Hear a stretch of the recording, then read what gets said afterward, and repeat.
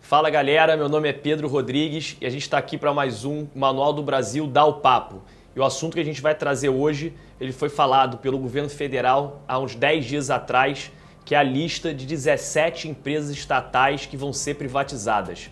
Apesar do governo dizer como vai fazer essas privatizações, o fato é que só de anunciar essa lista já mostra o norte que o governo federal quer dar para as empresas estatais. Como a gente viu aqui no nosso vídeo das estatais bizarras, o Brasil tem estatais pra caramba e algumas não têm o menor sentido de existir ou podem acabar imediatamente, serem vendidas e melhorar um problema fiscal brasileiro, além de trazer investimentos para o país e dinamizar determinados setores.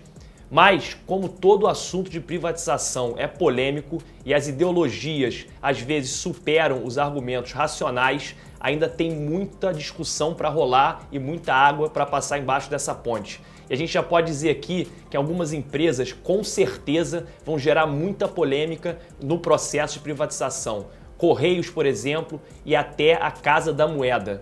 Sem dúvida, os argumentos ideológicos vão ser grandes e os racionais também. E vamos ver quem que vai ganhar essa batalha e como que o governo se, vai, se ele vai conseguir de forma rápida ou se vai demorar demais para fazer a privatização dessas empresas. Outras talvez sejam mais fáceis, como a Eletrobras, que já está sendo discutida há bastante tempo e precisa de aprovação do Congresso para poder ser privatizada, ou a Companhia Brasileira de Transportes Urbanos, a CBTU, que a gente já vê muitos metrôs e trens privados pelo Brasil e acho que esse assunto não é tão polêmico. Mas conta aqui pra gente o que, que você acha e qual, quais as empresas estatais que você acha que vão causar mais polêmica e problema para o governo privatizar. E conta aqui pra gente também se você é contra ou a favor. Nós aqui do Manual do Brasil achamos que as privatizações são benéficas.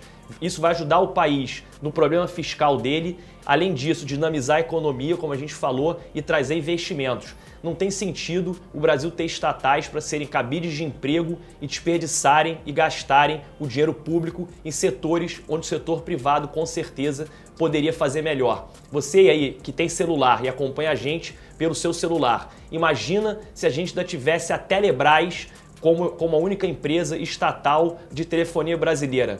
Provavelmente hoje a gente mal teria telefone fixo, ainda estaria usando aqueles tijolões, para quem é mais velho vai lembrar. Mas conta aqui pra gente nos comentários o que, que você acha da lista dessas 17 empresas que a gente vai deixar aqui no link para você olhar.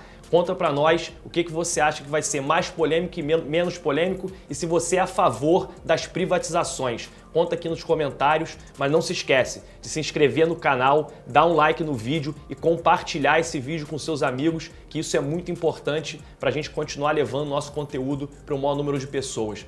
Beleza? Valeu e até o próximo vídeo.